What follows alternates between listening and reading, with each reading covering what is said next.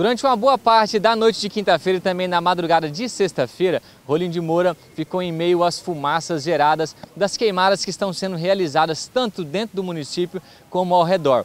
Mesmo existindo uma lei federal que proíbe esse ato, infelizmente os moradores estão tendo que conviver com essa situação há vários dias. São vários focos, existe o número de dias que denúncia, mas parece que não existe uma fiscalização. Eu acho que é um, um descaso assim das autoridades públicas, né, que não cuidam, não acho que não vê o, o ambiente, não cuida disso aí, porque prejudica realmente a, a, principalmente as pessoas e as crianças também.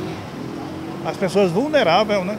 A, a, a, essa fumaça, a poeira, já existe a poeira nesse tempo, mas essa fumaça e na manhã desta quinta-feira, nossa equipe acompanhou com exclusividade o começo, o início desse incêndio. Aqui nós notamos que ele se estendeu pela propriedade por uma grande área. Infelizmente as pessoas e também o corpo de bombeiros que procuraram fazer um trabalho na data de ontem, no início do fogo, não conseguiram contê-lo.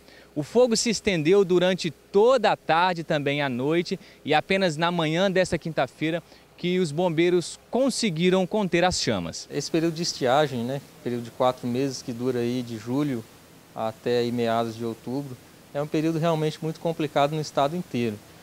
Né? E os proprietários, eles tendem, infelizmente, a usar o fogo para limpar suas terras. E não tomam as precauções necessárias, né? lembrando que isso também, se não tiver autorização, é crime. Nós temos uma lei em vigor que proibiu o uso do fogo por 120 dias mas você bota fogo para achando que é controlado, dali a pouco esse fogo perde o controle e ah, muitas vezes não tem nem como apagá-lo ali de imediato. Né? Essa ocorrência que nós atendemos hoje de manhã, né, que iniciou-se ontem, o Corpo de Bombeiros foi ao local, é, executou algumas técnicas para que o fogo não se alastrasse, mas não teve como apagar ali de imediato. Né? Hoje pela manhã nós voltamos ao local, e também voltamos a utilizar as técnicas e graças a Deus conseguimos combatê-lo com sucesso.